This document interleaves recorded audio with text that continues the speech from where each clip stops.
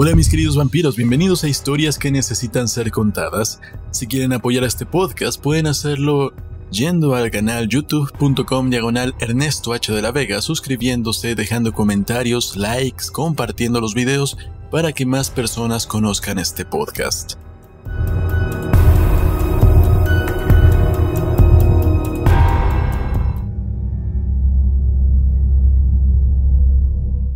Hoy presentamos La muerte enamorada de Théophile Gautier.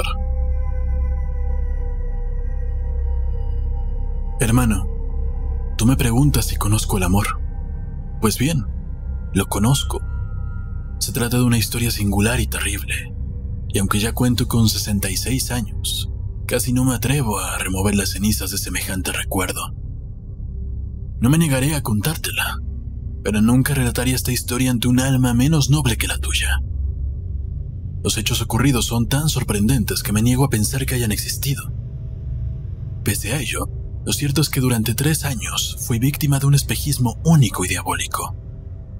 Yo, un mísero sacerdote de provincias, vivía en sueños noche tras noche. Quiera a Dios que solo fuese un sueño. Una vida disipada, una vida mundana, una vida de sardana palo. Fue suficiente que posara una mirada complaciente sobre una mujer para que arriesgase mi alma.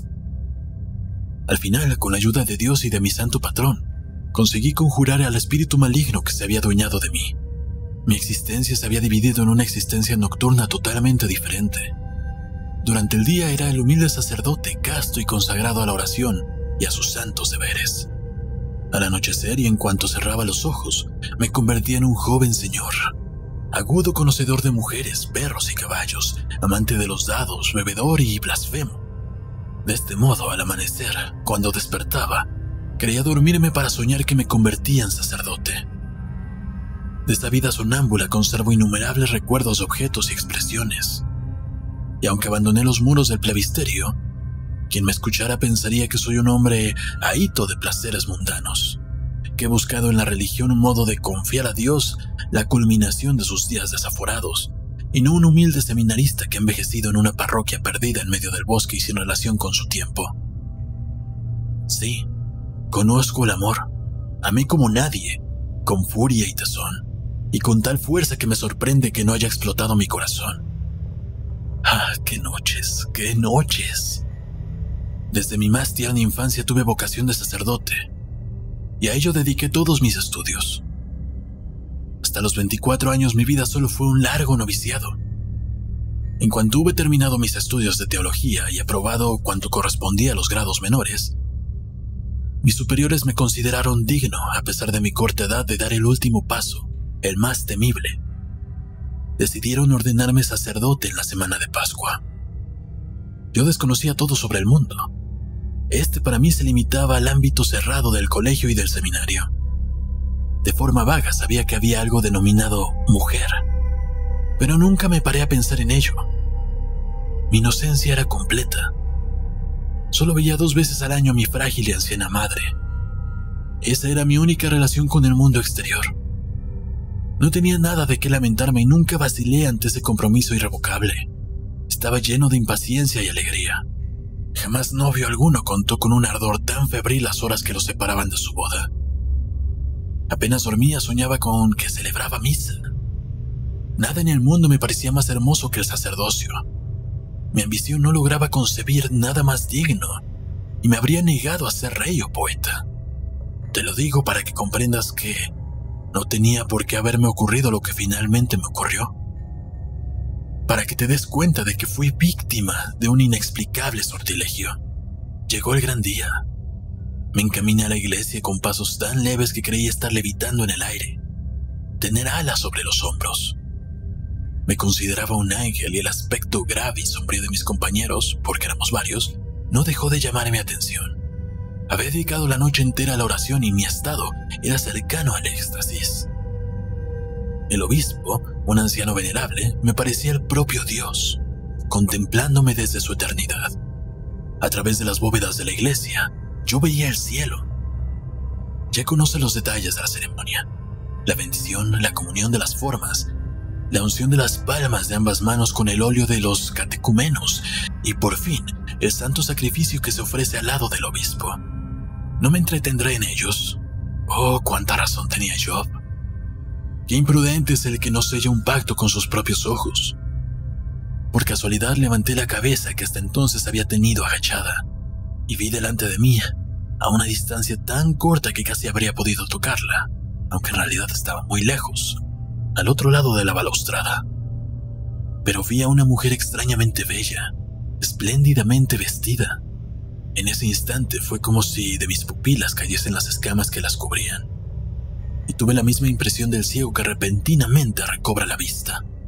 El resplandor del obispo se disipó. Palidecieron los cirios igual que las estrellas al alba, y una oscuridad absoluta cubrió el templo. La deliciosa criatura se destacaba entre las sombras como si fuese la aparición de un ángel.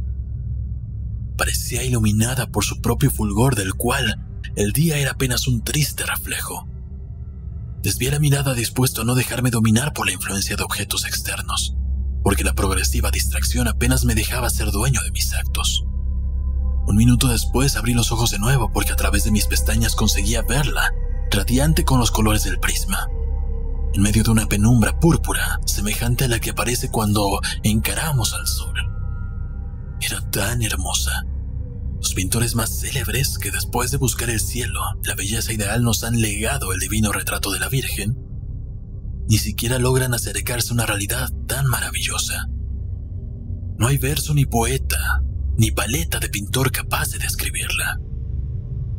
Era alta, con un tallo y un porto dignos de una diosa.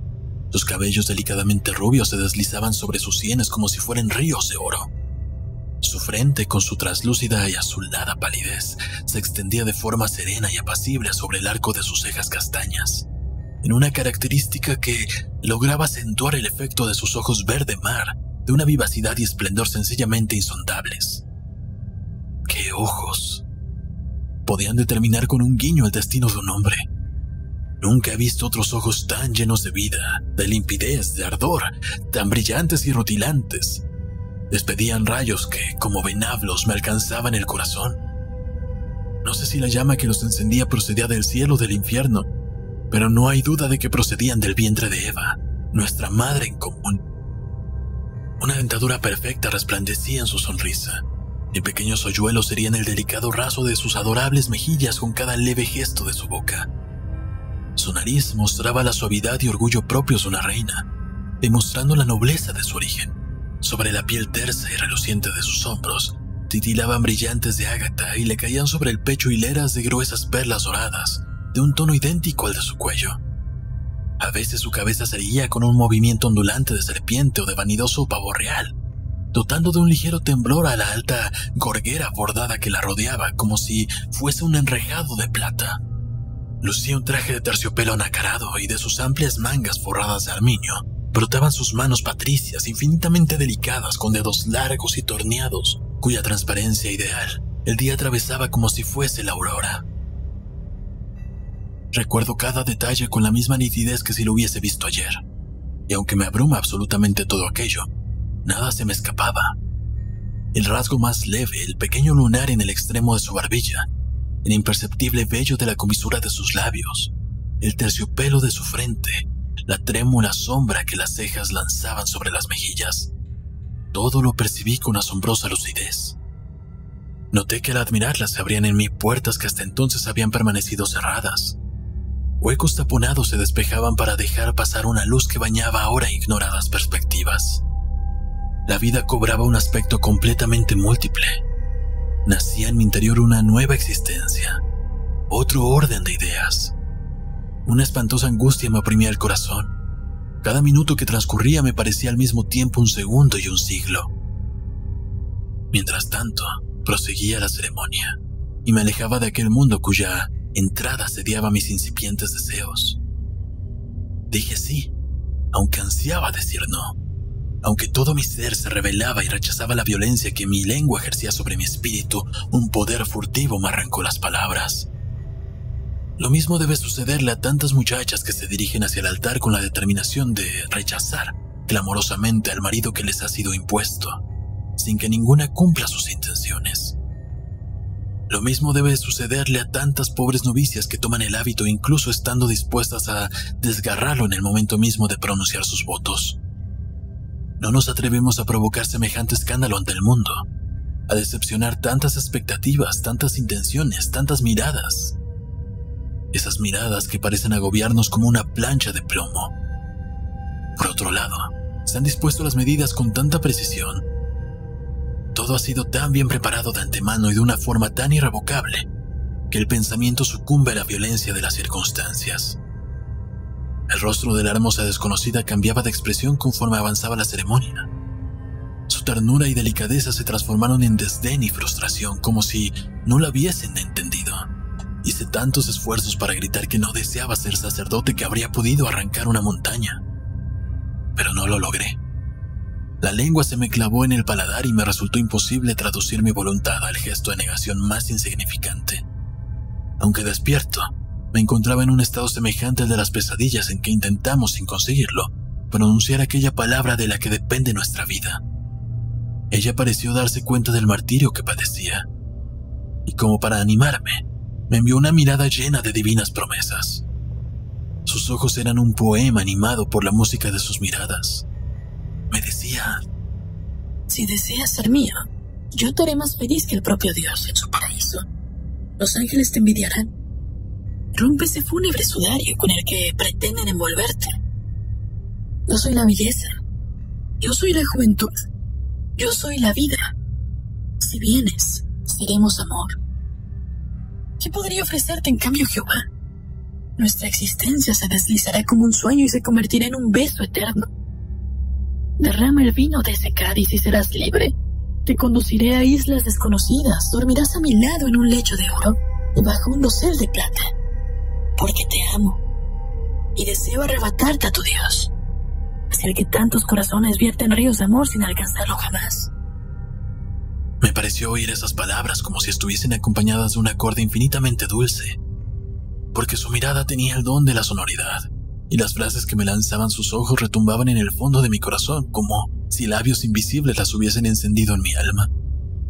Estaba dispuesto a renunciar a Dios y pese a ello, continuaba cumpliendo mecánicamente el ritual de aquella ceremonia.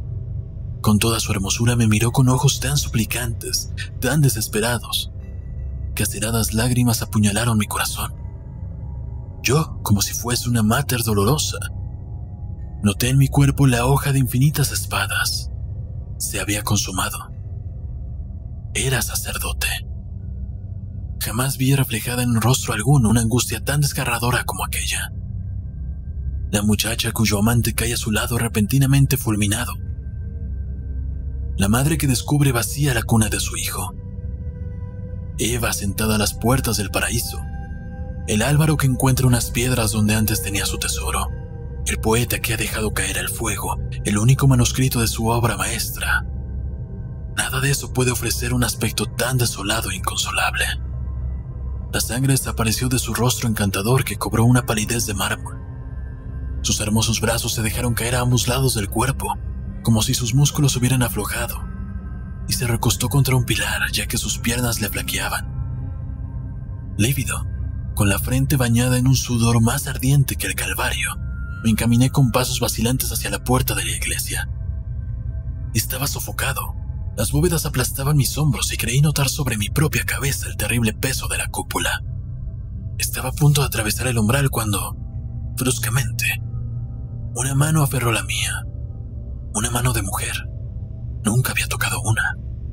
Era tan fría como la piel de una serpiente y a pesar de ello, su huella ardió en mi piel como si fuese una marca de hierro al rojo vivo. Era ella. Desdichado, desdichado, ¿qué has hecho? Me susurró e inmediatamente se perdió entre la multitud. Pasó a mi lado el anciano obispo dirigiéndome una mirada severa. Mi apariencia sin duda era extraña. Palidecía, me ruborizaba y luego sufría mareos. Uno de mis compañeros se compadeció. Me tomó en sus brazos y me llevó con él. Yo solo habría sido incapaz de regresar al seminario a rodear una callejuela mientras el joven sacerdote miraba en otra dirección. Un paje negro extrañamente vestido se acercó y me dio sin detener su paso una cartera pequeña, recamada en oro, haciéndome señales para que la guardase. La dejé caer dentro de la manga y esperé encontrarme de nuevo solo en mi celda. Hice saltar el broche. Solo tenía dos hojas con estas palabras escritas. Clarimonda Palazzo Concini. Pero yo era tan ajeno a la vida mundana que no sabía nada de Clarimonda a pesar de su fama y desconocía por completo la ubicación del Palacio Concini. Me entregué a mil conjeturas, unas más disparatadas que otras, pero lo cierto es que, con tal de volver a verla, me daba lo mismo que se tratase de una dama de alcurnia o de una cortesana. Nada más nacer, mi amor arraigó con una energía indestructible. Ni siquiera traté de arrancarlo de mí porque no pensé que fuese posible hacerlo. Esa mujer se había adueñado de mí. Una mirada le había bastado para trastornarme e imponerme su voluntad. Ya no vivía en mí, sino en ella, y para ella. Realicé mil extravaganzas besando la zona de mi mano que había estado en contacto con la suya y repitiendo su nombre durante largas horas. Era suficiente que cerrase los ojos para que la viese con tanta nitidez como si estuviese delante de mí, pronunciando una y otra vez las palabras que me había dirigido en el pórtico de la iglesia. Desdichado, desdichado, ¿qué has hecho? Me di cuenta de lo horrible de mi situación, y los aspectos funestos y terribles del estado al que me acababa de consagrar se mostraron con absoluta claridad. Sacerdote. Eso quería decir ser casto, no amar a nadie, no reparar en el sexo o la edad, desviar la mirada de toda belleza vaciando los ojos, reptar por la helada penumbra de un claustro o una iglesia, visitar únicamente a los moribundos, velar junto a cadáveres desconocidos y vestir de luto con aquella sotana negra de forma permanente, de tal manera que el propio hábito sirviese como cortina a mi catafalco. La vida como un lago interior en ebullición luchaba por desbordarme. La sangre luchaba con furia en mis arterias y mi juventud, tanto tiempo reprimida, estalló inesperadamente como el aloe que tarda un siglo en florecer y después irrumpe con estruendo. ¿Qué hacer para ver a Clarimonda? No tenía la menor excusa para dejar el seminario, porque no conocía a nadie en la ciudad. Tampoco podía permanecer mucho tiempo en ella, donde solo estaría hasta que me indicasen la parroquia que iría a ocupar. Pensé en quitar los barrotes de mi ventana, pero ésta se encontraba a una altura tal que bajar después al otro lado sin la ayuda de una escalera resultaba imposible. Por otro lado, Solo podría hacerlo de noche. ¿Cómo orientarme entonces por aquel laberinto de calles desconocidas?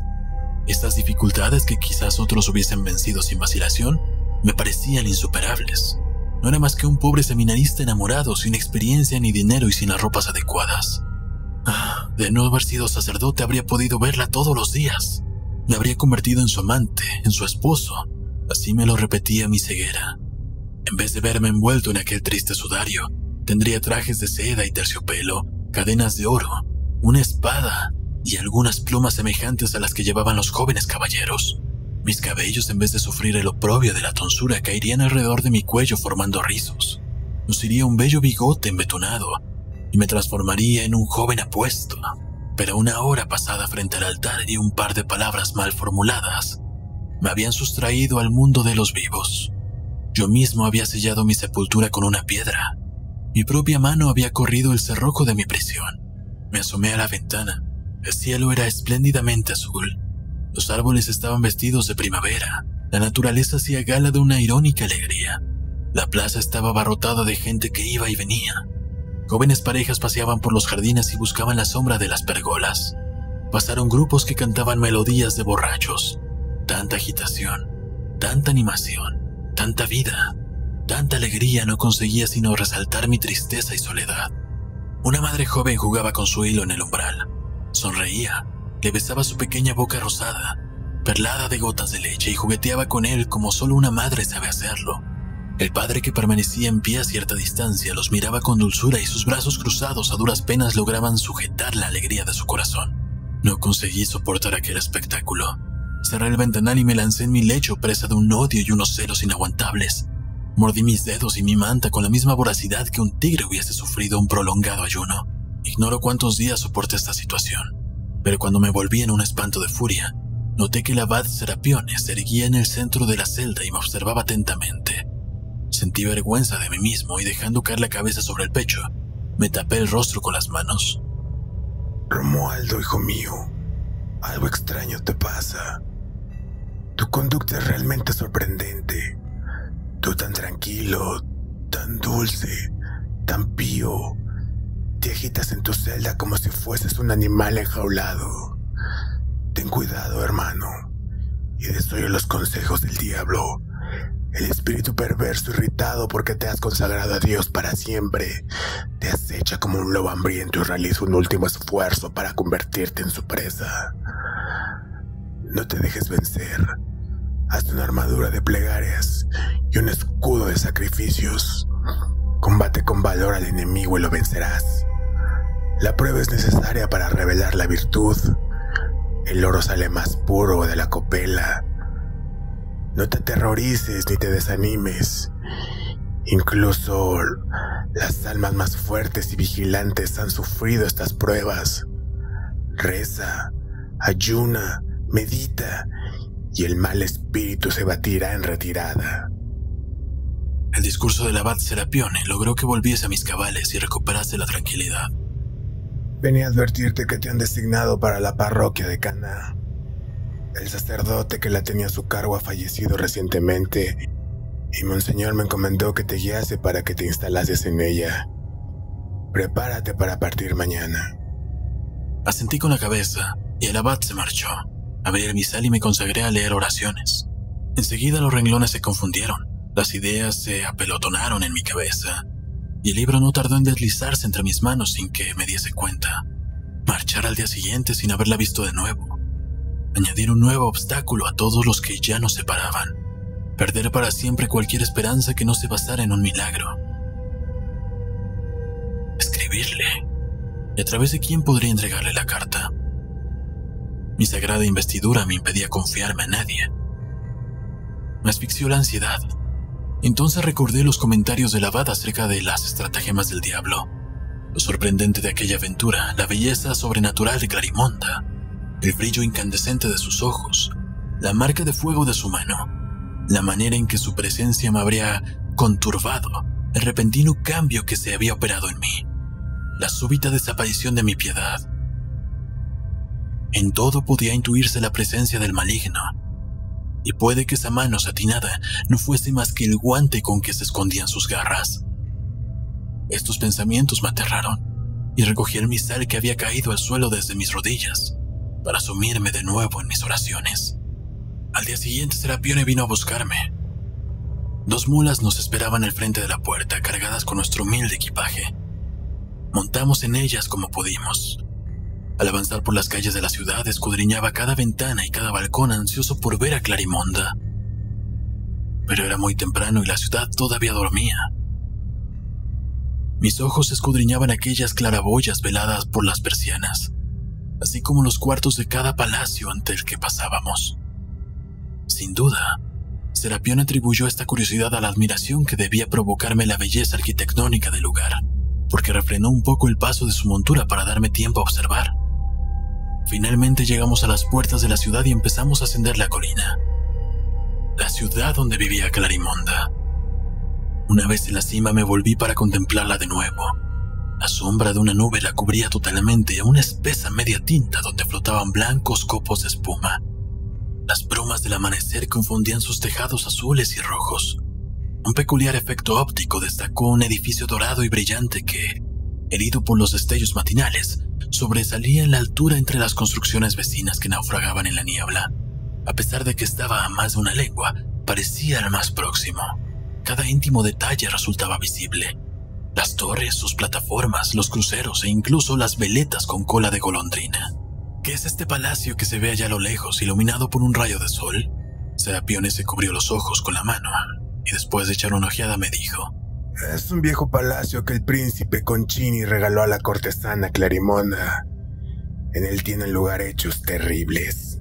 Todavía no sé si fue visión o realidad, pero justo en ese momento creí ver deslizarse por la terraza una figura pálida y esbelta cuyo brillo duró un segundo antes de extinguirse. Clarimonda. ¿Sabía acaso que en aquel momento desde lo alto del difícil camino que me alejaba de ella, y por el que ya no habría de regresar, yo devoraba con ojos tenaces y ardientes el palacio donde vivía? Y que un azaroso juego de luz parecía colocarlo a mi alcance, como invitándome a entrar en él como el dueño y señor. Es evidente que lo sabía, porque su alma estaba excesivamente unida a la mía como para no vibrar ante la más leve de mis emociones.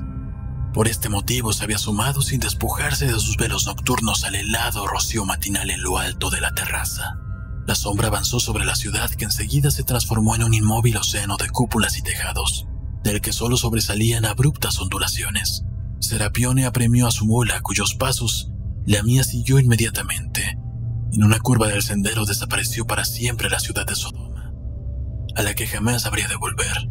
Después de los tres días de marcha a través de las tristes campiñas, se levantó sobre la copa de los árboles la cúpula de la iglesia donde debía servir. Recorrimos tortuosas callejuelas que penosamente esquivaban chozas y corrales, así hasta encontrarnos frente a la fachada del edificio y su triste magnificencia. Un portal decorado con algunas nervaduras, un par de pilares de arenisca toscamente tallados, una techumbre de tejas y contrafuertes del mismo material que los pilares, y nada más. A la izquierda se encontraba el cementerio, cubierto por un pastizal de montarraz en cuyo centro se levantaba una cruz de hierro. A la derecha, a la sombra de la iglesia, se elevaba el presbiterio. Todo era sencillo hasta la austeridad. Entramos. Unas gallinas picoteaban la avena, parecían acostumbradas al hábito negro de los sacerdotes y nuestra presencia no las asustó. Se apartaron con desgana para dejarnos pasar. Nos sorprendió entonces un ladrido áspero y ronco procedente de un viejo perro que se nos acercaba. Era el perro de mi predecesor. Su mirada apacible, su pelaje gris y otros síntomas parecidos delataban la vejez más avanzada que puede darse en un perro. Lo acaricié ligeramente y empezó a andar a mi lado con una expresión de indescriptible satisfacción. Una anciana, seguramente el ama de llaves del anterior párraco, vino a nuestro encuentro y después de hacerme entrar en una sala de paredes bajas me preguntó si tenía intención de conservarla. Le dije que pensaba conservarla a ella, al perro, a las gallinas y al mobiliario entero que su amo había dejado al morir. Experimentó una honda alegría porque, por otro lado, el abad Serapione le había pagado al momento el precio que ella había pedido. Nada más instalarme, el abad volvió al seminario. Me quedé, pues, a solas y sin más apoyo que yo mismo. De nuevo me obsesionó el recuerdo de Clarimonda y aunque trataba por todos los medios de ahuyentarlo, no siempre lo lograba. Cierta noche, mientras paseaba por los senderos flanqueados de boj de mi pequeño jardín, me pareció ver a través de las matas una forma de mujer que estudiaba todos mis movimientos, entre las hojas, el brillo de unas pupilas de color verde mar. No obstante, se trataba de una ilusión, y cuando cruzaba al otro lado del sendero no encontraba sino una leve huella en la arena tan minúscula que recordaba el pie de un niño. Unas elevadas murallas rodeaban el jardín. Yo examinaba cada uno de sus recovecos sin encontrar a nadie. Nunca pude explicarme este extremo que, por otro lado, era menos sorprendente, sin embargo, que los hechos con los que todavía habría de enfrentarme. De esta manera viví alrededor de un año. Cumplí fielmente todos los deberes de mi condición. Recé, ayuné, exhorté y cuidé a los enfermos. Di limosna hasta privarme de mis necesidades más acuciantes, pero un gran vacío reinaba en mi interior y las fuentes de la gracia me estaban vedadas. No gustaba de la alegría que otorga el cumplimiento de una santa misión. Mi pensamiento flotaba en otro lugar. Las palabras de Clarimonda venían a mis labios como un involuntario estribillo. Piensa en ello, hermano. Por haber mirado a una mujer una sola vez, por cometer una falta aparentemente tan leve, padecí durante años los tormentos más terribles. Mi vida se vio perturbada para siempre. No me extenderé relatando cada una de mis derrotas y victorias interiores a las que seguía, indefectiblemente, una caída todavía más profunda. Por tanto, contaré de inmediato un hecho decisivo. Cierta noche llamaron perentoriamente a la puerta. El ama de llaves fue a abrir, y un hombre de piel cobriza, vestido de forma ostentosa, aunque de acuerdo con la moda extranjera, con un largo puñal, apareció a la luz de la linterna de Bárbara. Este esbozó un gesto de pánico, pero el hombre la tranquilizó y le dijo que necesitaba verme inmediatamente por un asunto relacionado con mis atribuciones. Bárbara lo hizo subir, yo estaba a punto de acostarme.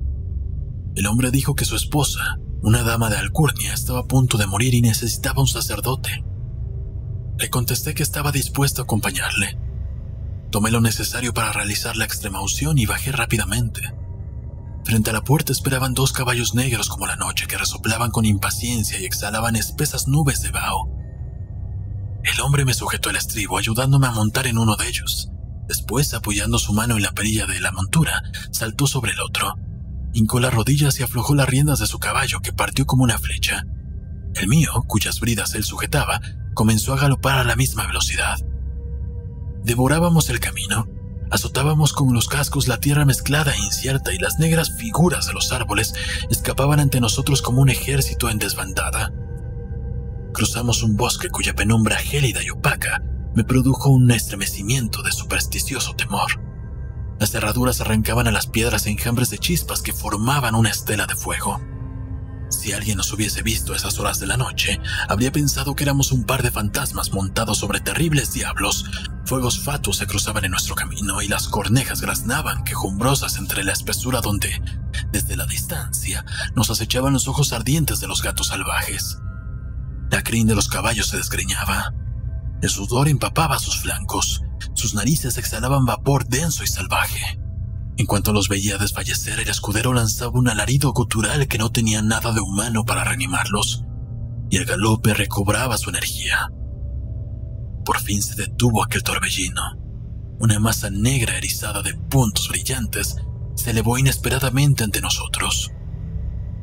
Los pasos de nuestra montura resonaron sobre un camino de piedra y entramos bajo una bóveda que abría sus sombrías fauces entre dos elevadas torres. Una gran agitación se había adueñado de aquel castillo. Criados con antorchas recorrían los patios yendo de un lado a otro. Luces vacilantes subían y bajaban por los corredores. De forma confusa logré reparar en los detalles de una construcción imponente y maravillosa, llena de gigantescas columnas, arcadas, escalinatas y rampas. Un paje negro, el mismo que me había dado el mensaje de Clarimonda y al que reconocí al instante, me ayudó a bajar y un mayordomo ataviado de terciopelo negro con una cadena de oro alrededor de su cuello y un bastón de marfil en la mano, se me acercó. Sus ojos estaban anegados en gruesas lágrimas que inmediatamente se derramaron por sus mejillas humedeciendo su barba blanca. Demasiado tarde, demasiado tarde, padre. Pero si no ha llegado a tiempo para salvar su alma, cuando menos venga a velar su cuerpo. Me tomó del brazo y me llevó a la cámara mortuoria. Lloré igual que él, al comprender que la muerta no era otra que Clarimonda, la mujer a quien amaba con locura. Junto a su lecho había un reclinatorio. Una llama azulada titilaba sobre una patera de bronce y lanzaba en la sala una luz tenue e incierta. Las aristas de los muebles o cornisas bailaban en la sombra. Encima de la mesa, dentro de una urna cincelada, expiraba una rosa ajada cuyos pétalos, con la única excepción de uno que todavía exhibía cierto vigor, caían como lágrimas aromáticas. Una máscara negra y rota, un abanico y toda clase de disfraces cubrían los sillones y demostraban que la muerte había irrumpido en aquella lujosa residencia de forma imprevista e inesperada. Me arrodillé sin atreverme a mirar hacia el lecho y empecé a recitar los salmos. Interiormente le agradecí a Dios que hubiese interpuesto el muro de la muerte entre esa mujer y yo, de modo que pude incluir en mis oraciones su nombre ya santificado. Este fervor, sin embargo, fue disminuyendo progresivamente, y la ensoñación se adueñó de mí. La sala no parecía cámara mortuoria. En vez del aire fétido y fúnebre que estaba acostumbrado a respirar en aquellas circunstancias, flotaba en la atmósfera tibia el lánguido aroma de perfumes orientales y un voluptuoso olor a mujer. El pálido resplandor parecía más una media luz preparada para los placeres que el difuso reflejo que normalmente envuelve a los cadáveres. Medité sobre el extraño azar que me propiciaba aquel nuevo encuentro con Clarimonda. Justo en el momento en que la perdía para siempre, no pude evitar un suspiro de dolor. Me pareció escuchar otro suspiro a mis espaldas e involuntariamente di la vuelta. Era el eco. Entonces mis ojos repararon en el catafalco que hasta entonces no había visto. Los cortinajes de damasco rojo, cubiertos de enormes flores realzadas por entorchados de oro, permitían ver a la mujer tumbada con sus manos unidas sobre el pecho. La tapaba un velo de lino cuyo blanco brillo no ofuscaba en las colgaduras púrpuras y cuya levedad no conseguía disimular las formas seductoras de su cuerpo. permitía seguir sus perfectas curvas a las cuales ni siquiera la muerte lograba imponer cierta rigidez. Recordaba una estatua de alabastro que un hábil artista hubiese tallado para levantar sobre él el túmulo de una reina, o una joven dormida cuyo cuerpo se hubiese visto sorprendido por la nieve. No conseguía sujetarme. Me emborrachaba aquella atmósfera de alcoba. El aroma febril de aquella rosa semimarchita logró enturbiar mi mente, y a grandes pasos recorría la sala de un lado a otro. A cada instante me paraba ante el estrado para admirar la gracia de aquel cuerpo envuelto en un sudario transparente. Me acosaron extraños pensamientos. Sospeché que en realidad no estaba muerta, que se trataba de un engaño con el cual había logrado atraerme a su castillo para mostrarme su amor. Me pareció notar como si un movimiento de su pie turbase la blancura de aquellos velos, mientras agitaban imperceptiblemente los pliegues del sudario. En ese instante me pregunté, ¿será Clarimonda realmente? ¿Cómo puedo saberlo? Es probable que el paje negro haya entrado al servicio de otra mujer. Es una locura desesperarse de esa forma. Pero con cada latido mi corazón insistía. Es ella, es ella. Me acerqué a la cama y observé con una mayor atención el objeto de mi incertidumbre. Habré de confesarlo, aquella perfección de formas, aunque purificadas y santificadas por la muerte, ejercía en mí una voluptuosa fascinación. Su reposo recordaba tanto al sueño que habría resultado fácil confundirse. Olvidé que había ido a ese lugar para realizar un servicio fúnebre, y me imaginé que era un joven esposo que acababa de entrar en el cuarto de su prometida y que ésta insistía en ocultarse únicamente por pudor. Roto de dolor, borracho de felicidad, tembloroso de miedo y placer, me recliné ante ella. Tomé un extremo de las cortinas, lo levanté lentamente mientras contenía el aliento por miedo a despertarla. Mis arterias palpitaban con tanta energía que sentía su latido en mis sienes, y mi frente brillaba de sudor como si estuviese intentando levantar una lápida de mánamol. Era en efecto Clarimonda, tal como la había visto en la iglesia el día que me ordené. No había perdido uno solo de sus encantos y hasta la muerte se mostraba en ella casi como una coquetería más. La palidez de sus mejillas, los labios descoloridos y las largas pestañas de un negro que se destacaba contra la blancura de su piel. Estos detalles le conferían la expresión de una castidad melancólica y de un sufrimiento reflexivo cuyo poder de seducción resultaba sencillamente indescriptible. Flores azules languidecían sobre sus largos cabellos esparramados, cabello que le servía de almohada y protegía sus hombros desnudos.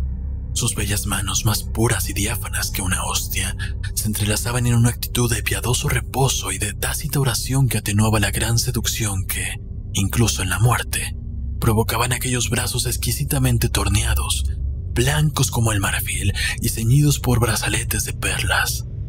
Durante bastante tiempo permanecí en silenciosa contemplación, y cuanto más la miraba, menos podía creer que la vida hubiese abandonado para siempre su bello cuerpo. No sé si fue una ilusión o un reflejo de la lámpara, pero se habría dicho que la sangre volvía a circular bajo aquella opaca lividez.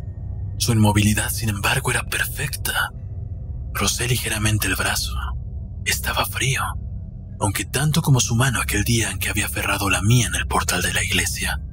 Me incliné de nuevo sobre ella y dejé caer en sus mejillas el tibio rocío de mis lágrimas. Qué amarga sensación de desesperación e impotencia, qué sufrimiento. Había convertido mi vida en un simple lapso para poder entregárselo y soplar de ese modo sobre ella la llama que me consumía. Avanzó la noche y al acercarse el momento de la eterna separación, no pude negarme la triste y suprema dulzura de depositar un beso sobre los labios muertos de la que había sido dueña de mi corazón. Entonces, oh milagro, un leve aliento se mezcló con el mío y la boca de Clarimonda respondió con ardor a mi pasión. Sus ojos se abrieron y recuperaron la luz. Suspiró y extendió los brazos para colocarlos con un aire de éxtasis inefable alrededor de mi cuello. Ah, eres tú, Romualdo. ¿Qué has hecho? Esperé tanto tiempo que al final me venció la muerte, pero ahora nos pertenecemos y podré verte y acudir a tu lado. Adiós, Romualdo. Adiós. Te amo. Es lo único que deseaba decirte. Y te entrego la vida que con tus besos Has logrado traerme por un segundo. Hasta pronto. La cabeza de Clarimonda cayó hacia atrás, a pesar de lo cual me rodeó con sus brazos en un supremo intento por retenerme junto a ella. Un torbellino de viento abrió el ventanal y rompió violentamente en la estancia. El último pétalo de la rosa blanca vaciló, como un ala que palpitase en el extremo del tallo. Después, el viento la arrebató y voló a través de la ventana abierta, cargando consigo el alma de Clarimonda. La lámpara se extinguió y yo caí desmayado sobre el pecho de la hermosa difunta. Cuando recobré el conocimiento me encontraba en un lecho, en el pequeño cuarto del presbiterio, el viejo perro de mi antecesor me lamía la mano extendida sobre la colcha. Bárbara caminaba por el cuarto presa de la febril agitación. Abría y cerraba cajones, cambiaba polvillos de un frasco a otro. Al verme abrir los ojos lanzó un grito de alegría. El perro ladró también y sacudió la cola. La debilidad no me permitió pronunciar una sola palabra o hacer el menor movimiento. Después me enteré de que había estado en semejante modo durante tres días, sin dar otra señal de vida que una imperceptible respiración. Esos tres días no cuentan en mi vida, y por tanto, no sé dónde anduvo mi espíritu en ese tiempo, porque lo cierto es que no conservo de ellos el menor recuerdo. Bárbara me dijo que el hombre de piel cobriza que me había llamado en medio de la noche me había devuelto al día siguiente en una litera cerrada y después se había marchado. En cuanto logré ordenar mis ideas, reconstruí cada detalle de aquella noche fatal. Al principio pensé que había sido víctima de alguna mágica ilusión, pero los hechos reales y concretos no tardaron en destruir semejante pensamiento. No podía creer que se tratara de un sueño porque Bárbara, al igual que yo, había visto al hombre de los caballos negros, cuyo aspecto y ropajes me describió con exactitud. No obstante, nadie conocía un castillo en los alrededores cuya descripción se ajustara al castillo donde me había encontrado Clarimonda. Cierta mañana entró el abad Serapione. Bárbara le había hablado de mi enfermedad y él había acudido rápidamente. Aunque su preocupación demostraba cariño e interés por mi persona, su visita no me agradó tanto como habría sido de esperar. Había algo en la mirada penetrante e inquisitiva del abad que conseguía preocuparme. Ante él, me sentía inquieto y culpable. Había sido el primero en advertir mi turbación interior y yo temía su clarividencia. Mientras me preguntaba en un tono falsamente cariñoso por mi salud, sus pupilas de león se lanzaban como una sonda dentro de mi alma. Después me hizo otras preguntas, cómo dirigía mi parroquia, si me agradaba, qué hacía en los ratos libres, si me había relacionado con los vecinos del lugar, cuáles eran mis lecturas predilectas y mil detalles semejantes. Yo contestaba con la mayor precisión posible, él, por su parte, sin esperar a que terminase la respuesta, cambiaba inmediatamente el tema. Estaba claro que la conversación no guardaba la menor relación con lo que quería decirme. Después, bruscamente, como si se tratase de una noticia que acababa de recordar en ese momento y que temía olvidar, me dijo con una voz clara y estruendosa que resonó en mis oídos como las trompetas del juicio final. La gran cortesana Clarimonda murió hace poco, después de una orgía que duró ocho días y ocho noches. En medio de un esplendor infernal, se repitieron las perversidades de los festines de Baltasar y Cleopatra. ¿En qué tiempos vivimos, Dios mío? Esclavos que hablan una lengua desconocida y que en mi opinión son los verdaderos diablos. Servían a los invitados. La librea del menor de ellos habría servido de gala de un emperador. Sobre Clarimonda se han contado historias muy extrañas, y entre ellas la de que todos sus amantes han encontrado un final horrible o violento. Se ha rumoreado que era una ghoul, una mujer vampiro, pero yo creo que era el propio Belcebú en persona. Se cayó y me estudió con la mayor atención para ver el efecto que habían producido sus palabras. No pude evitar estremecerme al escuchar tanto el nombre de Clarimonda como la noticia de su muerte, aparte del dolor que me producía por la curiosa coincidencia con la escena nocturna de la que había sido testigo.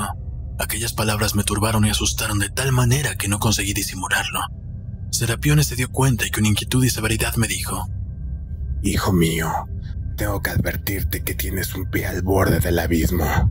Ten cuidado de no caer. Las garras de Satanás son largas y sus tumbas no siempre son definitivas. Un triple sello debería cerrar la lápida de Clarimonda, porque, según se dice, no es esta la primera vez que muere. Que Dios cuide de tu alma, Romualdo. Después de pronunciar estas palabras se alejó lentamente y no volví a verlo porque partió casi al instante hacia Sodoma. En cuanto logré recobrarme, regresé a mis actividades normales. Permanecían en mí el recuerdo de Clarimonda y el de las palabras del viejo abad. A pesar de ello, como ningún acontecimiento inusual confirmó los funestos presagios, supuje que mis temores eran exagerados. Sin embargo, cierta noche tuve un extraño sueño. Acababa de dormirme cuando escuché como alguien corría las cortinas de mi lecho. Las anillas resonaron haciendo que me incorporase bruscamente. Vi una sombra de mujer en pie frente a mí. Inmediatamente reconocí a Clarimonda. Llevaba en la mano una pequeña lámpara, como la que suele colocarse en las tumbas, cuyo brillo otorgaba a sus dedos afilados una rosada transparencia que insensiblemente se extendía en la opaca palidez de su brazo desnudo. Por toda vestimenta llevaba el sudario de lino que había lucido en su catafalco y cuyos pliegues sujetaba contra el seno como si su ligero atavio la turbase, aunque de todos modos apenas si conseguía taparse. Era tan blanca que a la luz de la lámpara el color de su ropa se confundía con su piel. Envuelta en aquel tejido tenue que delataba cada curva de su figura, recordaba más bien a la marmórea estatua de una antigua bañista que el cuerpo de una mujer dotada de vida. El caso es que viva o muerta, mujer o estatua, cuerpo sombra, su belleza seguía siendo la misma. Apenas se había debilitado el brillo verde de sus pupilas, y sus labios antes bermejos aparecían teñidos únicamente de un leve color rosa, muy parecido al de sus mejillas. Las pequeñas flores azules que yo había notado en sus cabellos aparecían totalmente secas y habían perdido casi todos sus pétalos. Todo esto no le impedía en absoluto seguir pareciendo fascinante hasta el punto de que, a pesar de las extrañas circunstancias de aquella visión y del modo inexplicable en que había entrado a mi cuarto, en ningún momento sentí miedo. Depositó la lámpara sobre la mesa, tomó asiento al pie de mi lecho y reclinándose sobre mí, me dijo con esa voz argenta y atildada. Me he hecho esperar demasiado, querido Romualdo, y tal vez hayas pensado que me había olvidado de ti, pero vengo de muy lejos y de un lugar del que nadie ha regresado todavía. Vengo de un país donde no existen lunas o soles, apenas un horizonte de insondable penumbra. No existen caminos ni senderos, ni tampoco una tierra donde posar el pie, o aire donde batir las alas. Sin embargo, aquí me tienes, porque el amor es más fuerte que la muerte a la que terminará derrotando. Ah, en mi viaje he visto rostros tristes y cosas espantosas. Cuánto sufrió mi alma que solo el poder de la voluntad ha permitido regresar a este mundo para recuperar su cuerpo e instalarse en él. Cuántos esfuerzos tuve que hacer para desplazar la losa con que me sepultaron en mi tumba. Fíjate, mira mis palmas, llenas de heridas. Bésalas, amor mío, para que puedan curarse. Me extendió ambas manos sobre las que una y otra vez deposité mis labios mientras ella me contemplaba con una sonrisa de indescriptible complacencia.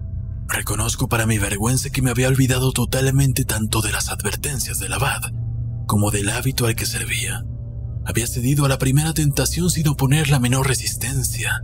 Ni siquiera había intentado rechazar al tentador. La frescura de la piel de Clarimonda penetró en mi alma y una profunda voluptuosidad recorrió mi cuerpo.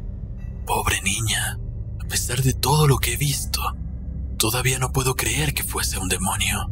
Por lo menos no tenía esa apariencia. Y la verdad es que Satanás nunca escondió sus garras y cuernos con tanta delicadeza. Había recogido los talones y permanecía echada al borde de la cama, en una actitud llena de inocente coquetería. De vez en cuando, su pequeña mano recorría mis cabellos formando bucles, como si quisiera comprobar en mí el efecto de diferentes peinados. Permití que lo hiciera sintiendo el placer más culpable, mientras añadía los encantos de un delicioso murmullo. Puede destacarse aquí que no sentí el menor asombro ante un hecho tan inusitado que todo me parecía completamente natural. Te amaba tanto antes de conocerte, querido Romualdo y por eso te busqué por todas partes.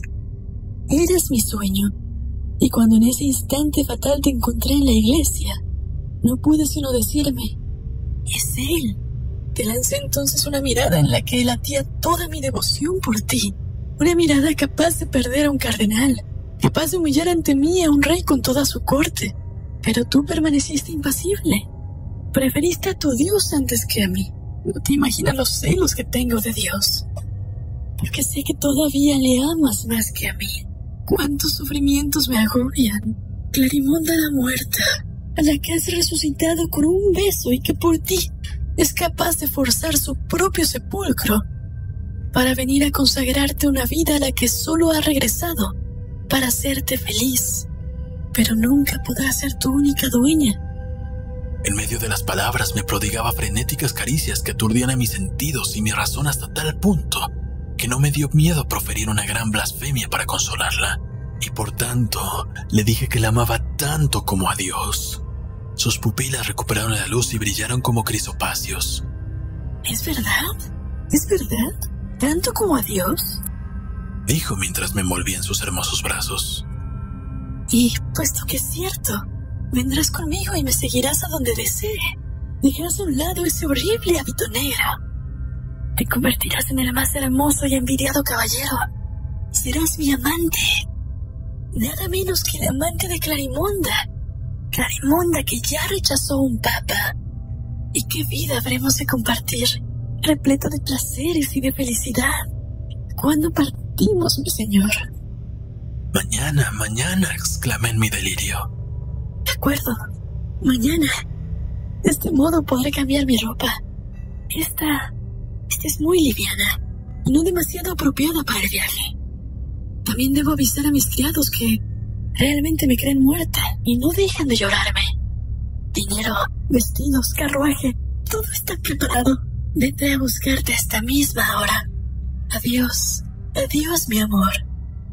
Sus labios tocaron levemente mi frente. Se extinguió la lámpara. Se apagó la luz y el cortinaje al cerrarse no me dejó ver nada más. Un pesado sueño sin sueños me derrotó y se adueñó de mí hasta el amanecer. Me desperté más tarde de lo habitual y el recuerdo de una visión tan extraordinaria me conturbó todo el día. Terminé por convencerme de que no era sino vapores exhalados por mi exaltada imaginación. Sin embargo, las sensaciones habían sido tan nítidas que me costaba creer que no hubiesen sido reales. De modo que me acosté, no sin miedo ante lo que pudiera pasarme después de pedirle a Dios que apartase de mí los malos pensamientos y protegíase la castidad de mi sueño. No tardé en dormirme profundamente, y mi sueño tampoco tardó en reaparecer. Se abrió el cortinaje y vi nuevamente a Clarimonda. Ya no estaba pálida ni envuelta en un sudario blanco y ataviada con mortuorias violetas, sino alegre, leve y jovial, vestida con un traje maravilloso de terciopelo verde recamado de oro, y que, recogido en un lado, permitía ver una falda de raso. Sus rubios cabellos sobresalían bajo un enorme sombrero de fieltro negro repleto de plumas blancas caprichosamente colocadas. Llevaba en la mano una fusta que terminaba en un silbato de oro. Me tocó ligeramente con ella y me llamó. Bien, bello durmiente. ¿Estás preparado? Esperaba encontrarte despierto. Levántate, deprisa. No tenemos un segundo que perder. Salté de la cama. Vamos, vístete. Partamos una vez. Insistió señalándome un pequeño paquete que traía consigo. Los caballos muerden el freno con impaciencia ante la puerta. Ya deberíamos estar a diez leguas de aquí. Me vestí rápidamente mientras ella tendía la ropa, riéndose a carcajadas de mi torpeza y señalándome cada vez que me equivocaba en el uso correcto. Después me peinó y al terminar me alcanzó un pequeño espejo de bolsillo hecho de cristal de Venecia, con filigranas de plata y me dijo, ¿Qué tal estás? ¿Quieres tomarme a tu servicio como tu criada personal? Yo ya no era el mismo hasta el punto que me desconocía. Me parecía lo que había sido tanto como una estatua a su bloque de piedra original. Mi antigua figura parecía apenas el grosero bosquejo de la que ahora reflejaba el espejo. Era bello y semejante metamorfosis halagó enormemente mi vanidad. Una vestimenta tan elegante y una chaqueta con tan ricos bordados me convertían en un personaje completamente diferente. Admiré el poder que esconde un simple corte de tela. El espíritu de mi hábito traspasó la piel y diez minutos más tarde, aquella fatuidad ya me parecía permisible. Di un par de vueltas por el cuarto para ganar soltura.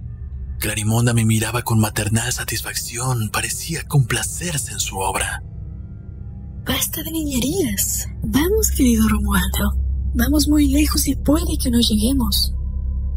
Me tomó de la mano y me llevó con ella. A su paso se abrían las puertas sin que apenas las tocase.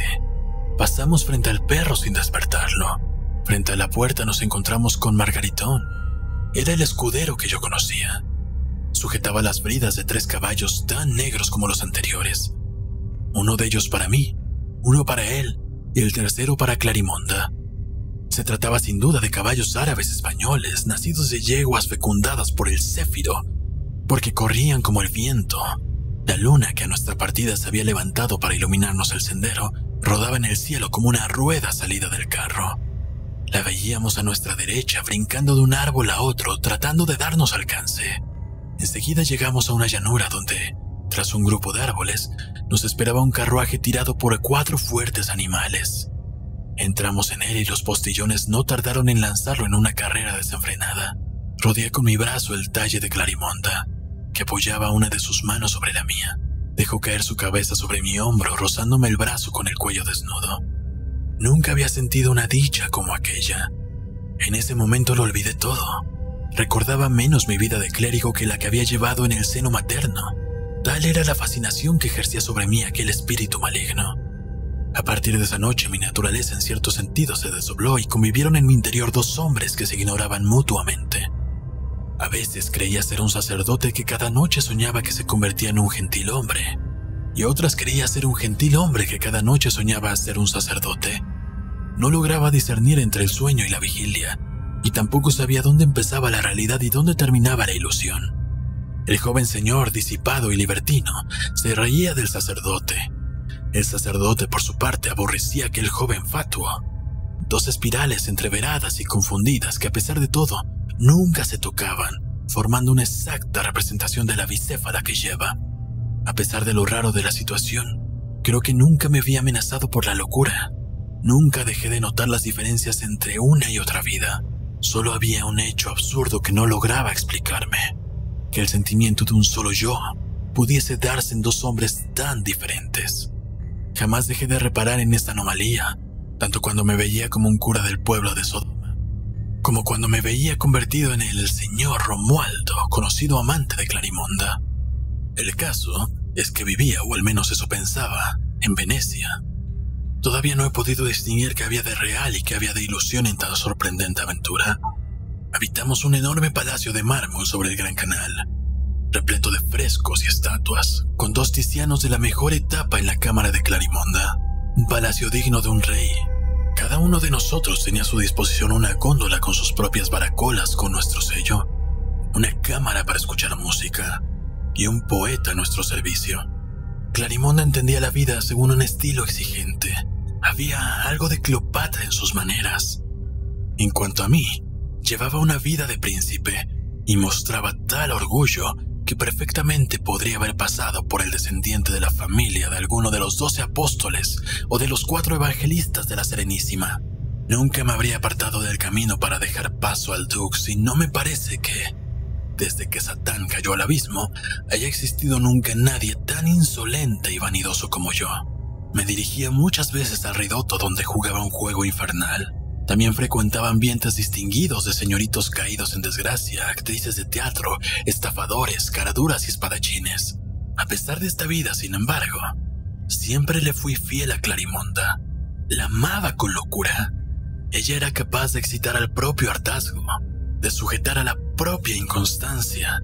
Ser el dueño de Clarimonda era como ser el dueño de 20 amantes, como ser amante de todas las mujeres, porque era tan cambiante, tan polifacética como un camaleón. Uno cometía con ella la infidelidad que hubiese cometido con otras, porque adoptaba el carácter y la apariencia y la hermosura de la mujer que en cada momento deseara. Me devolvía mi amor centuplicado y en vano los jóvenes patricios y hasta los ancianos del Consejo de los Diez le hicieron fabulosas propuestas. Un Foscari llegó a pedirle su mano, pero ella lo rechazó a todos. Estaba saturada de oro, solo deseaba amor un amor joven y puro que ella misma despertara a su antojo, y que fuese al mismo tiempo el último y el primero. Mi dicha habría sido perfecta de no haberlo impedido. Aquella maldita pesadilla que me agobiaba todas las noches, en la que me veía convertido en un sacerdote que se laceraba y hacía penitencia para purgar mis excesos diurnos.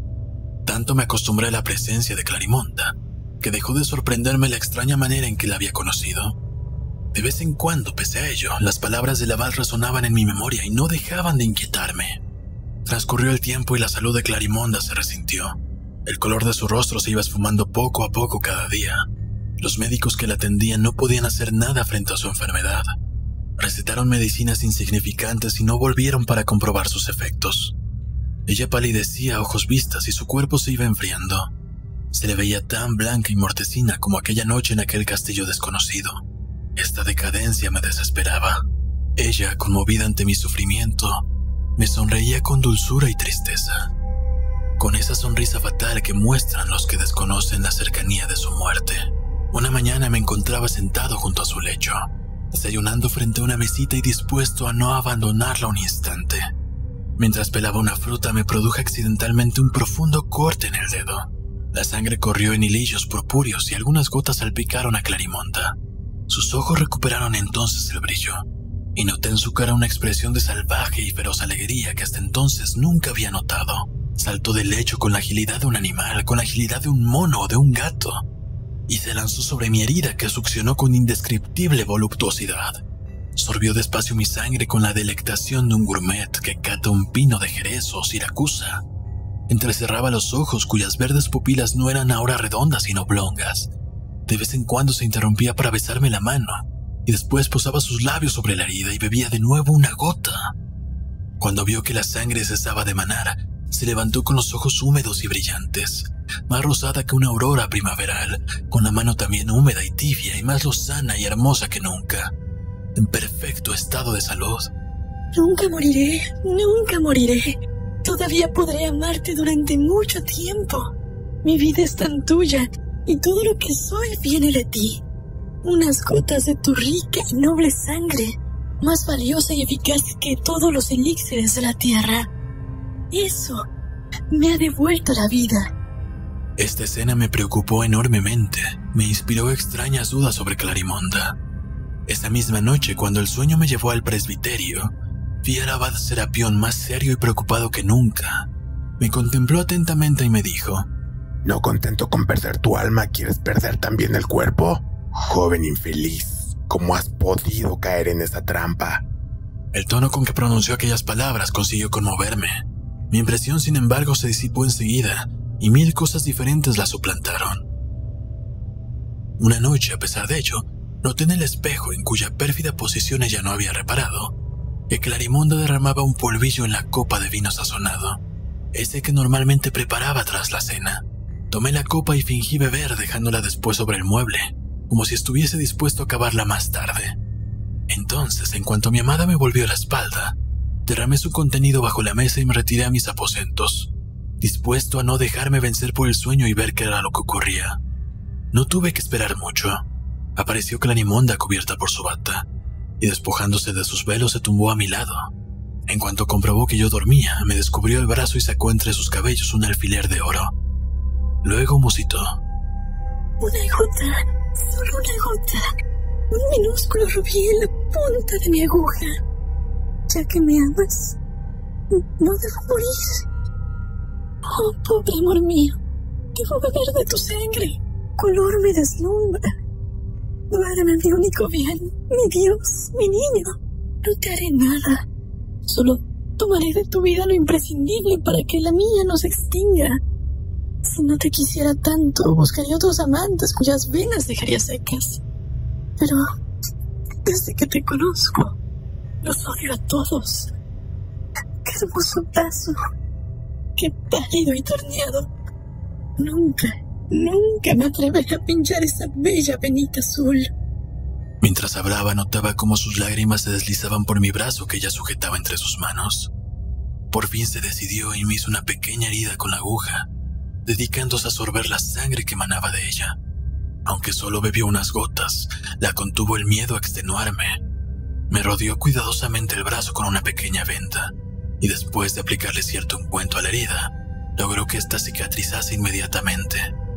Estaba claro, Serapión estaba en lo cierto. Sin embargo, a pesar de la certeza, me resultaba imposible no amar a Clarimonda, y con todo el placer del mundo le habría dado toda la sangre necesaria para mantener artificialmente su existencia. Además, tampoco sentía grandes miedos. En la mujer encontraba ahora la explicación del vampiro, y lo que había visto y oído me daba un convencimiento total sobre ello.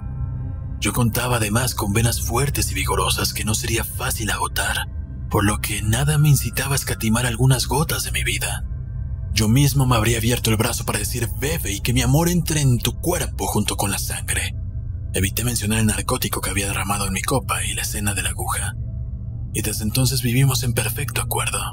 Sin embargo, mis escrúpulos de sacerdote me torturaban cada día más.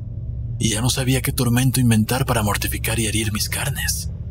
Aunque estas visiones fueran involuntarias y yo no participase en ellas, tampoco me atrevía a tocar a Cristo con unas manos tan impuras, con un espíritu ensuciado por tales excesos reales o soñados. Para evitar tan terribles alucinaciones trataba de esquivar el sueño. Mantenía mis párpados abiertos incluso con los dedos. Me sujetaba en pie contra la pared. Hacía todos los esfuerzos imaginables, pero finalmente la arena del sueño me irritaba los ojos, y al ver que todo era inútil me entregaba preso de la lasitud y el desánimo. Esa corriente me arrastraba hasta pérfidas orillas. Serapione me hacía los exhortos más enfáticos y recriminaba enérgicamente mi desidia y escaso fervor. Un día en que yo había estado más agitado de lo habitual, me dijo: Solo existe un modo de despojarte de esta obsesión, y aunque sea extremo, debemos ponerlo en práctica. Sé dónde han enterrado a Clarimonda. Es necesario desenterrarla para que veas el lamentable estado en el que se encuentra tu amada. De ese modo no querrás perder tu alma por un cadáver inmundo carcomido por los gusanos y que pronto se transformará en polvo. Así volverás en ti. Por mi parte, estaba tan cansado de mi doble vida que accedí ansioso por saber quién era víctima de una ilusión, si el cura o el gentil hombre. Estaba dispuesto a matar en beneficio del otro a uno de los dos hombres que convivían en mi interior, e incluso a ambos porque semejante vida era insoportable.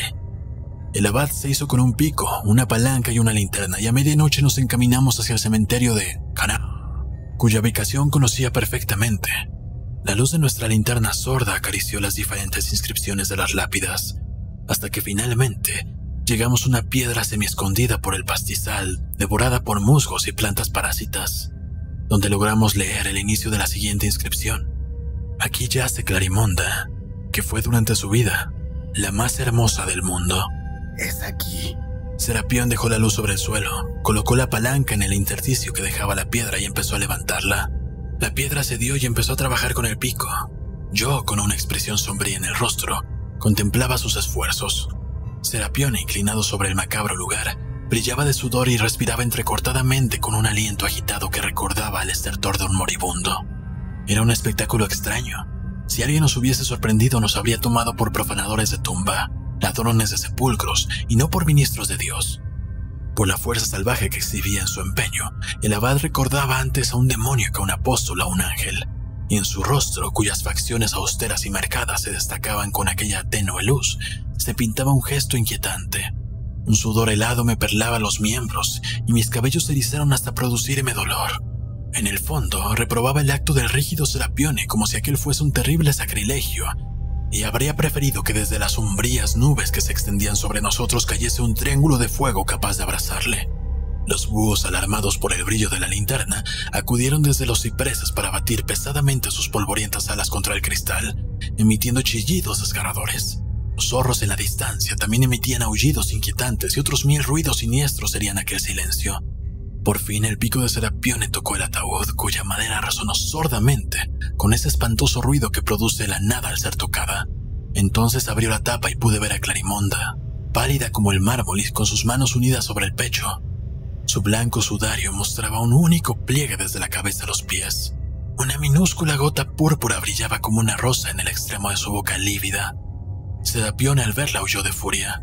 Ah, demonio, estás aquí cortesana maldita, bebedora de sangre y de oro. Roció el cuerpo y el ataúd con agua bendita, trazando con un hisopo la señal de la cruz sobre ambos. En cuanto el sagrado rocío tocó el bello cuerpo de Clarimonda, este se convirtió en polvo, dejando únicamente una mezcla terrible y difusa de cenizas y huesos corruptos. Ahí está tu amante, señor Romualdo.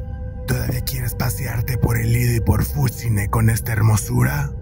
Bajé la mirada algo había cedido a mi interior. Volví al presbiterio y el señor Romualdo, amante de Clarimonda, se despidió del pobre cura al que durante tanto tiempo honrara con su extraña compañía.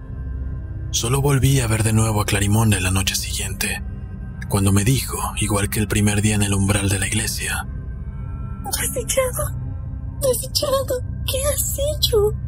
¿Por qué has oído a ese sacerdote necio? ¿Es que no eras feliz? ¿Qué te hice para que profanaras mi tumba? ¿Qué te hice para que dejaras al descubierto las miserias de mi nada? Todo el diálogo entre nuestras almas, nuestros cuerpos se ha roto ahora para siempre. Adiós. Sentirás mi ausencia. La sentirás. Se desvaneció en el aire como si fuese humo, y nunca más volví a verla. Y tenía razón. Lamenté su ausencia que todavía hoy lloro. Pagué un alto precio por la tranquilidad de mi alma, ya que el amor de Dios no me resultó suficiente para sustituir el tuyo. Esta es, querido hermano, la historia de mi juventud. Nunca mires a una mujer y camina con los ojos fijos en el suelo, porque por casto y prudente que seas, bastará un segundo de distracción para que te pierdas para toda la eternidad.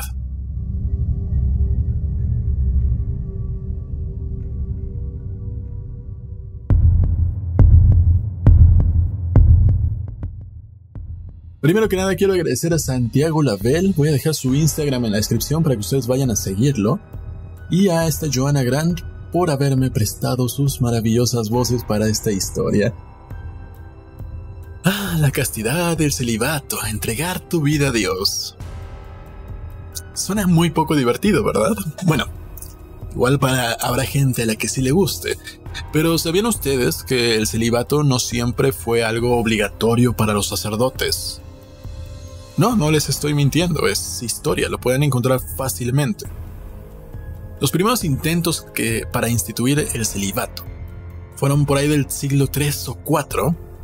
Ya había algunos, eh, digamos, fundamentalistas que decían, sí, vamos a tener movimientos celibes y no vamos a tener familia. Lo cual era muy, es como muy conveniente para la institución, de hecho todas esas personas, la verdad es que no, no perduró su idea. Les dijeron algo así como, no, no te creo. Y el problema es que el catolicismo todavía estaba en una etapa de crecimiento. Estaban, como lo llaman ellos, evangelizando. Necesitaban a más personas, más sacerdotes, que llevasen su producto a más lugares. De la misma manera que Coca-Cola está en todos lados, la iglesia fue la primera en hacer eso. ¿Y cómo hacer que la gente crea lo que tú les estás vendiendo. Si tú pones un merolico que, nada, que nadie conoce, pues es como las personas que lo vemos en, en medio de, del centro, en las explanadas, que están con su megáfono gritando que Dios va a venir y que todos vamos a morir. Es un loquito más, no le vamos a creer. Lo que hacían era convencer a personas que tenían ya cierta influencia. De esa manera aprovechaban e iba creciendo todo su movimiento. El problema es que estas personas resultaba que eran casadas, que algunas tenían hasta varias parejas, así que tenían que aguantarse y no decir nada al respecto. A final de cuentas eso les dio mucho poder también a las personas que eran elegidas para este tipo de puestos. Por ahí del siglo XI hubo un nuevo intento. El Papa León IX y Gregorio VII, ellos dos, intentaban volver a meter esto del celibato. ¿Por qué? Porque la degradación moral del clero si, el clero tenía esposas se iban a degradar moralmente. Bueno, históricamente ha hecho cosas peores, pero eso era lo que argumentaban. Pero esto no fue una decisión simplemente arbitraria. En ese momento histórico estaban las cruzadas y en cada cruzada los representantes del clero iban ganando territorios, iban ganando tierras, iban ganando propiedades. Y el que no tengan familia les daba poder sobre todas esas propiedades a la iglesia y la iglesia se convertiría en dueña y señora de todos esos lugares y todas esas propiedades. El hecho de que no tengan familia quiere decir que el propio sacerdote tendrá una vida humilde y no tendrá otros intereses más que la iglesia y no tendrá quien heredar si es que tuviera alguna propiedad. Y así fue como llegaron a los concilios de Letrán, el primero en 1123 y el segundo en 1139 a partir de ese momento, cualquier clérigo no iba a poder casarse o relacionarse con ninguna concubina, básicamente por los tanates del Papa en curso. Otra de las razones para la Iglesia, aparte de enriquecerse, es por lo que llaman ellos un objetivo más grande, Que haya un misionero que esté siempre libre para asumir misiones y cargos. Que haya alguien que esté dispuesto a hacer cualquier cosa que se le ordene. Y lo mejor de todo, sin recibir pago alguno. Regresando a la historia, ¿ustedes qué hubieran hecho? ¿Cuál hubiera sido la decisión que ustedes hubieran tomado? Déjenlo en los comentarios, por favor. Yo los voy a checar. Yo la verdad es que hubiera preferido quedarme con Clarimonda. No porque fuera hermosa, que eso es una premiante, sino porque ya había una relación de amor. ¿Y cómo puede haber un acto de amor más puro que el compartir una vida? Que a partir de unas pocas gotas de sangre puedas salvarle la vida a la persona que amas, puedas continuar con esa persona. Y ustedes podrán decirme, te estás seduciendo una vampira. Pero en realidad, todos ustedes, si alguien de su familia o alguien a quien aman, puede ser su pareja, puede ser sus padres, pues sus hijos, sus hermanos, sus tíos, alguien a quien, a quien aman, que es imprescindible en su vida, y ustedes tuvieran la oportunidad de salvar a esa persona, donando unas pocas gotas de sangre, ¿no lo harían? De hecho, dejando a un lado el vampirismo, ustedes pueden salvar a la gente tanto en vida como en muerte. En vida, si ustedes no han estado enfermos en los últimos días, si ustedes no se han perforado o tatuado en el último año, tienen la posibilidad de salvar a otras personas que tal vez no conozcan o tal vez sí, simplemente yendo a donar sangre. En muerte, y eso es algo que tendrían que hablar ustedes con sus familias, pueden pedir que sus órganos sean donados y ayuden a otra gente a que tenga una nueva oportunidad de vivir. Es más, en algunas ocasiones, si son compatibles, hay personas que pueden donar a familiares. Entonces, ¿qué diferencia tendría eso con dar unas gotitas de sangre a Clarimonda? Por favor, donen. Eso creo que es bueno para el mundo. Pero bueno, si ustedes quieren mandarme una historia pueden hacerlo a historias@ernestodelavega.com. Yo las voy a checar y las vamos a ir programando para los siguientes episodios. Si ustedes quieren apoyar este podcast pueden hacerlo suscribiéndose en youtube.com diagonal Ernesto H dejando comentarios, dejando likes y sobre todo compartiendo con otras personas para que más personas escuchen estas historias. Pero si se quieren convertir en mecenas pueden hacerlo en patreon.com diagonal Ernesto de la Vega o en los links que están en la descripción. Los nombres de las personas que vayan apoyando irán apareciendo en los videos, ahí al final, en algún momento. También quisiera invitarlos a que formen parte de nuestro grupo de Facebook, el Club del Unicornio. Somos poquitos, pero estamos bonitos. Muchísimas gracias por acompañarme. Nos vemos en el siguiente podcast. Yo soy Ernesto de la Vega.